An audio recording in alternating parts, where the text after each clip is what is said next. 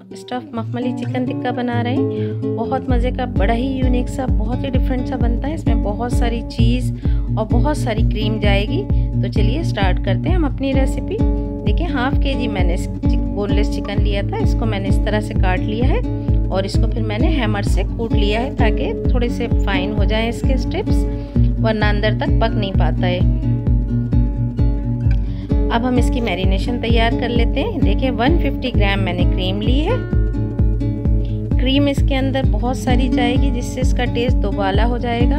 आप इसको ज़रूर ट्राई कीजिएगा। देखें, तीन हरी मिर्चें हैं, जिसको मैंने फाइन चॉप कर ली है। नमक ऐड कर रही हूँ वन टीस्पून और ये मैं इसके अंदर 100 ग्राम दही ऐड कर रही हूँ। वन टीस्पून इसके अंदर ज़ीरा पाउडर ऐड करा है, वन टीस्पून इसके अंदर कुटी लाल मिर्च ऐड करिए, वन टेबल स्पून मोटा कुटा हुआ धनिया ऐड कर रही हूँ उसके अंदर और वन टीस्पून इसके अंदर मैंने अनियन पाउडर ऐड किया है, वन टीस्पून इसके अंदर गरम मसाला ऐड किया है मैंने इसके अंदर और वन टीस्पून ही अदरक लहसुन का पेस्ट ऐड कर रही हूँ और ये वन टेबल स्पून इसके अंदर मैं भुना हुआ बेसन ऐड कर रही हूँ। इसको मैंने थोड़ा सा भून लिया था, फिर मैं इसको ऐड कर रही हूँ। बिल्कुल हल्का हल्का इसको भून लिया था ताकि इसके अंदर खुशबू बहुत अच्छी आ जाती है और ये सारी चीज़ें हम इसको मिक्स कर देंगे। अच्छे से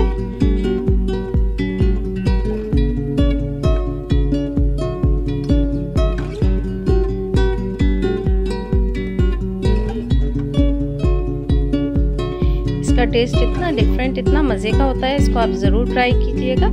मेरे चैनल पे जो नए हैं जल्दी सब्सक्राइब कर लें। बेल आइकन को ज़रूर प्रेस करें। Video at least two two three minute देखने के बाद वॉच सब्सक्राइब किया करें। देखिए, अब इसके अंदर मैं चिकन ऐड कर रही हूँ।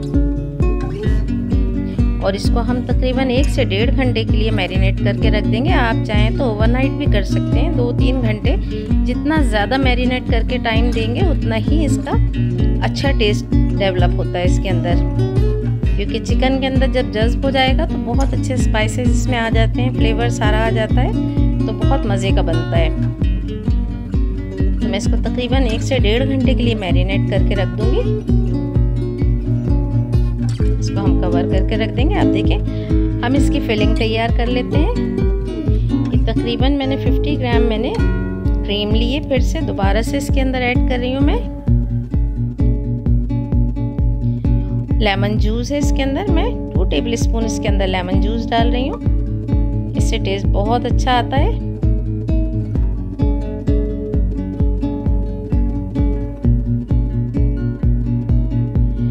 और ये मैंने चेडर चीज़ लिए उसको मैं ऐड कर रही हूँ। तकरीबन 100 ग्राम है मेरे पास चेडर चीज़ इसको मैंने, इसको ऐड कर रही हूँ इसके अंदर। हरा धनिया ऐड कर रही हूँ इसके अंदर।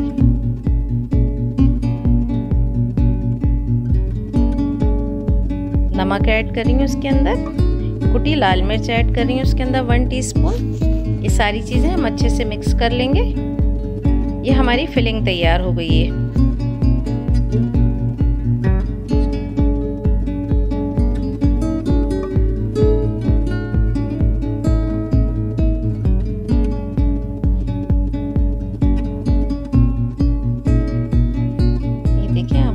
एक एक पीस उठाएँगे इस तरह से।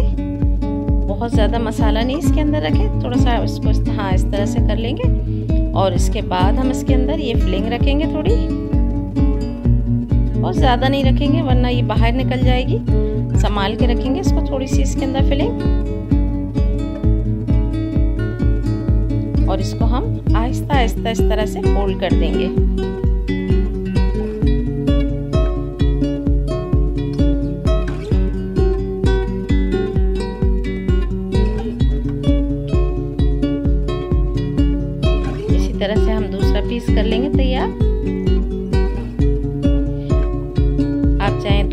लगाएँ, तीन पीस लगाएँ, ये आपके ऊपर है। इस तरह से आप फोल्ड कर लें इसको।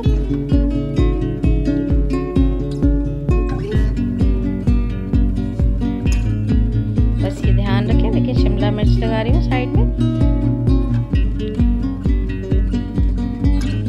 और इसको बहुत संभाल से इसको लगा लेंगे इस तरह से, ताकि इसकी फिलिंग ना निकले, इस चीज़ का ख़ास ख्याल रखेंगे। आप चाहें तो अगर इस तरह लग रहा है तो इसको आप बना कर इसको आप फ्रीज़र में भी थोड़ी देर के लिए रख दें। तो उससे जो है, आपकी फिलिंग जो है क्रीम और वो जो है, सारी सेट हो जाएगी इस तरह से।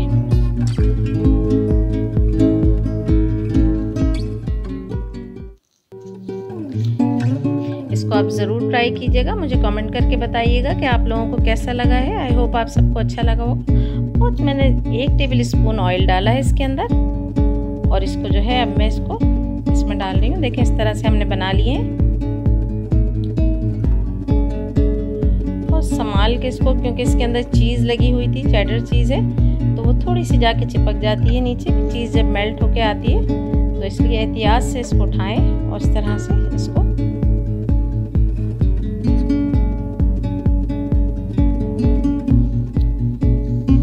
इतने मज़े के बनते हैं, इतना डिफरेंट इसका टेस्ट होता है, इसको आप ज़रूर ट्राई कीजिएगा। मेहमानों को खिलाएँ, खुद भी खाएँ।